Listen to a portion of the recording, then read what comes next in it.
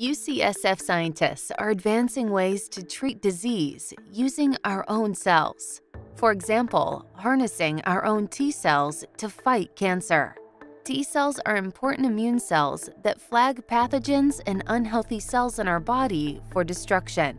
Researchers can modify T cells into chimeric antigen receptor T cells, CAR T cells, to target cells with specific antigens on their surface.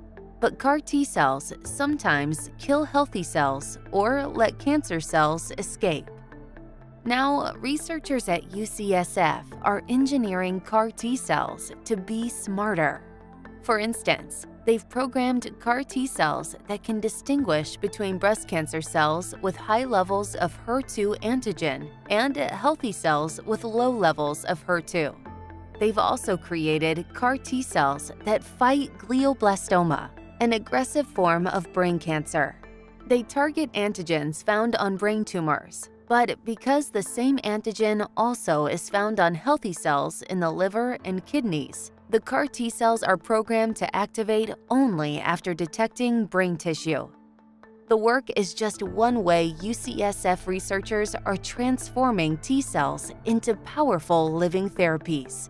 Other T cell therapies could one day fight off serious viral infections or quiet the immune response in autoimmune disorders.